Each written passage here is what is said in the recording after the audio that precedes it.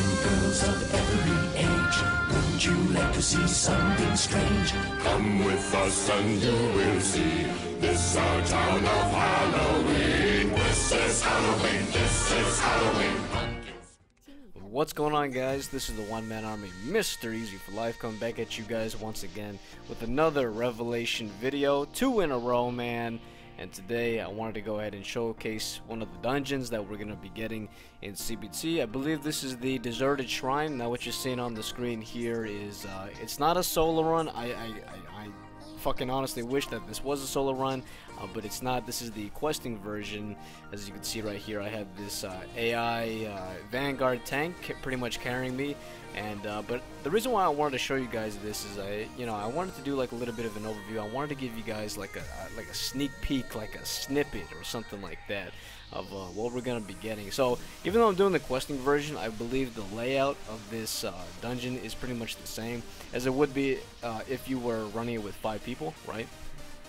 So uh, yeah, I believe this is actually gonna be the hardest dungeon that we're gonna get in uh, CBT 1. So this is definitely something. Some this is definitely a dungeon that you want to be running on the daily because uh, the uh, the rewards and the loot and the gear or whatever is definitely worth your while, worth your worth your time, worth getting and uh, whatnot. So as you can see here, yeah, the layout should be pretty much the same. We got uh, my Vanguard dude uh, tanking it, and uh, my, I'm playing as my Vanguard as well, so we're pretty much taking out these mobs. There's a lot of AoE going on here, and uh, I believe, I, I, so I read on the forum today about it, and uh, it is confirmed that this dungeon actually unlocks at level 35, so that's uh, I, I, believe yeah easy mode starts at 35 and then you're gonna go ahead and head up into hard mode at 40 and then god mode should be at 45 right? So you can pretty much speculate the kind of gear uh, this this uh, dungeon is gonna be dropping in terms of the levels right? 35 to 45 around there.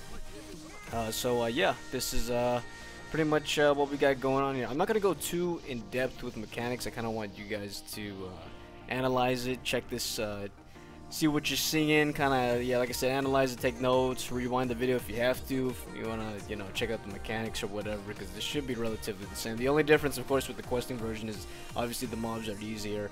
The, uh, the you don't have to worry too much about the boss mechanics, um, but I believe there are st still mechanics implemented into the questing version. Of course, it just doesn't hit as hard. So yeah, um, but uh, other than that, this is uh, yeah, pretty much what we got going on. So you're gonna walk up here, free some some free some villagers, and uh, then you're gonna go ahead and head over to this boss right here. This is the first boss right here. I forget what his name. I think he's like the the claw dude or something like that. I don't know. I was reading the names on the forum, and I, I can't even remember what the hell. Uh, what their names. I know this guy's like Claw something because he's got that claw sword or whatever, and the next one's gonna be like a, uh, the Flame Spirit, I believe. And uh, yeah, so as you see right there, he got a little bit of mechanics. He does like an AoE thing. I think that was him. Um, yeah, I don't know. But uh, yeah, no, you could uh, pretty much take in what you see here today. Just pretty much expect this this Thursday. This is what we're uh, kind of a glimpse of what we're gonna be getting here. And uh, yeah, man. Um, I don't know, not much to say here. I believe, actually, you know what? I believe that the God mode version of this should be appearing in our as our one of our exorcism weeklies because I so the exorcism reputation thing unlocks at 30 and I believe as soon as you hit 35 this uh, this dungeon should appear as uh, part of your weekly that you have to do uh, in terms of uh, you know I guess the requirements or whatever because I know that when you do the exorcism you got like three brackets or you have three types of options to do in your brackets. So you have your daily, and then you have two more, and I believe one of them is the weekly. So I know for a fact that this dungeon, uh, the God mode version, should be appearing as a weekly.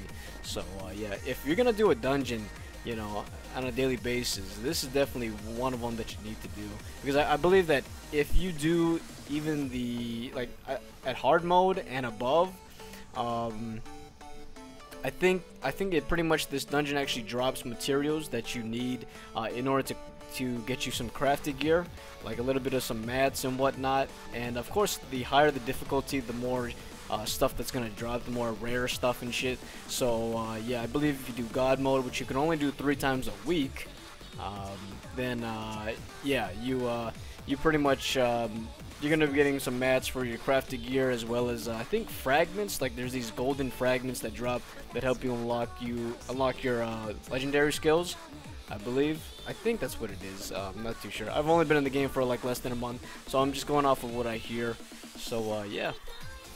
Alright, so we, as you saw, we already beat the second boss, so we're coming up this nice here. I'm just admiring the scenery, man. This is a pretty cool scenery. As you can see, we've got like this nice Chinese-looking temple. Looks badass. I love it.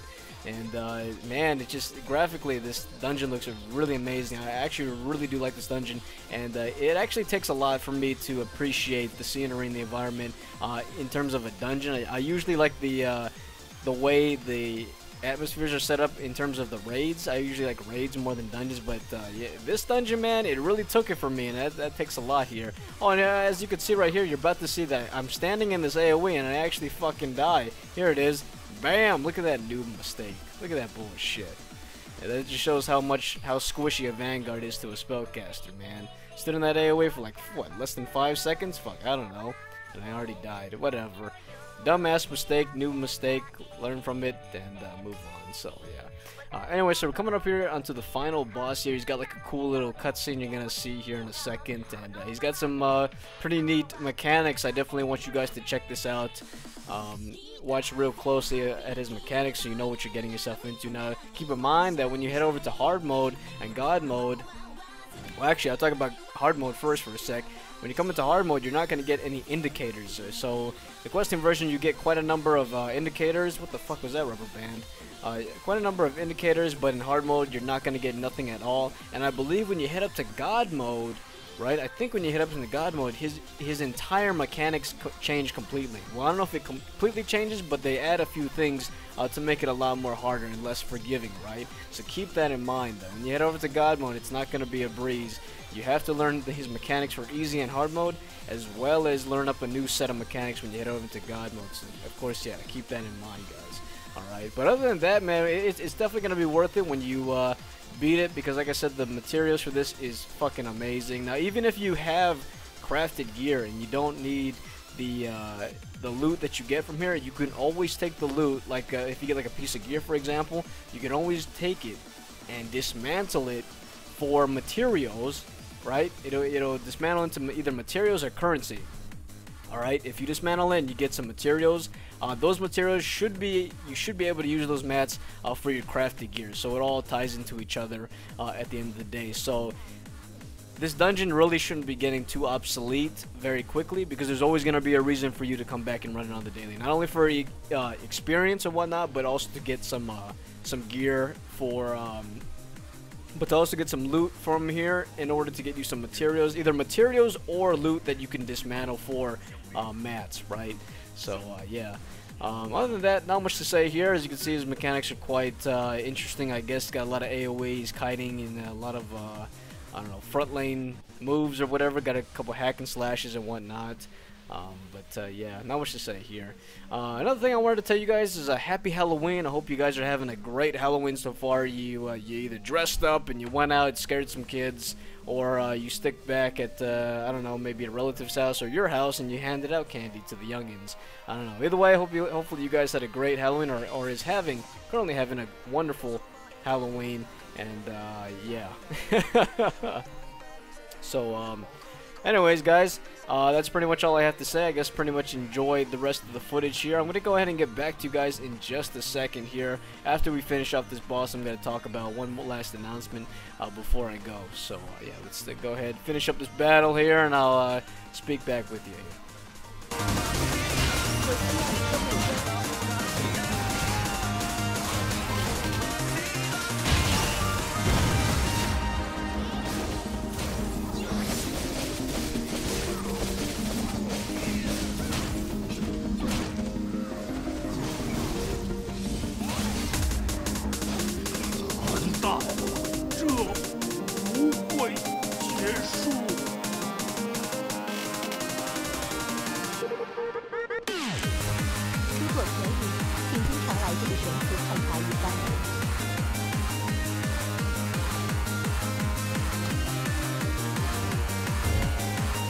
So before I go, I thought I might give you guys one last announcement before CBT about the Twitch channel. I talked about the Twitch channel uh, a couple weeks ago on my Sexy Bikini Blade and Soul video, and uh, I thought I might give you guys a little bit of an update here since uh, I'm going to start streaming really soon.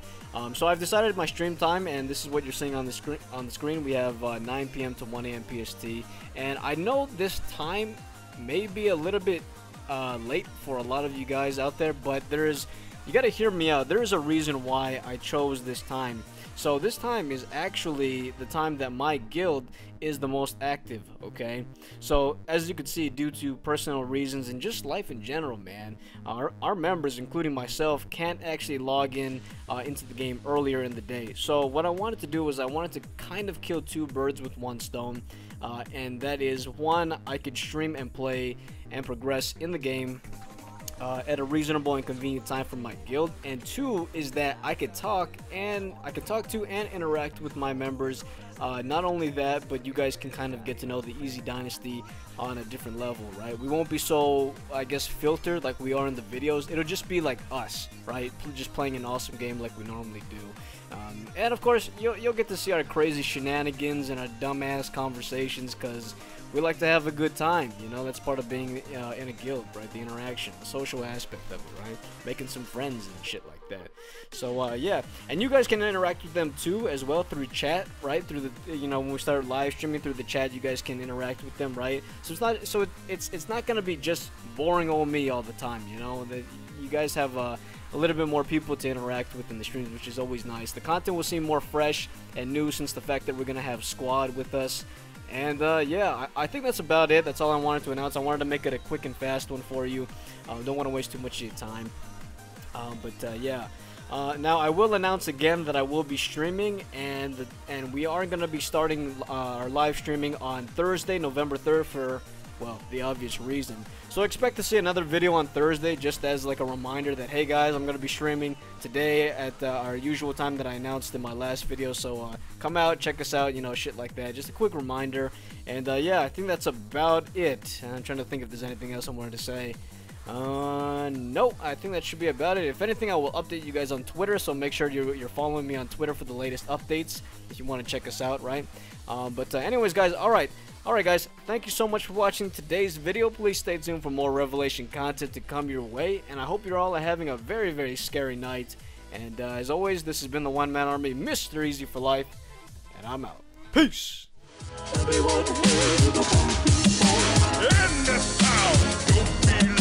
Everybody's waiting for the next surprise. Now that cold and hiding in the trash can. Something's waiting now to pounce and how You scream.